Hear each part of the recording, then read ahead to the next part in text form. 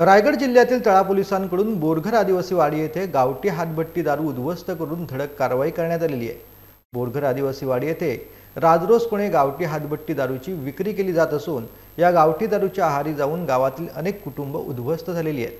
तसेच तरुण व अल्पवयीन मुले देखील या दारूच्या आहारी जाऊ लागल्याने बोरघर आदिवासी वाडीतील महिलांनी सदर गावठी दारूचे धंदे बंद करण्यात यावेत याबाबत तळा पोलीस ठाण्याला निवेदन दिलेले होते. त्यानुसार तळा पोलिसांनी तात्काळ कारवाई करत बोरघर येथे ढाळ टाकून गावठी हातबट्टीची दारू उद्ध्वस्त केली या प्रसंगी तळा पोलीस ठाण्याचे P S I Kale Phatak Wargude Suravase Bandre आदी यावेळेला उपस्थित होते.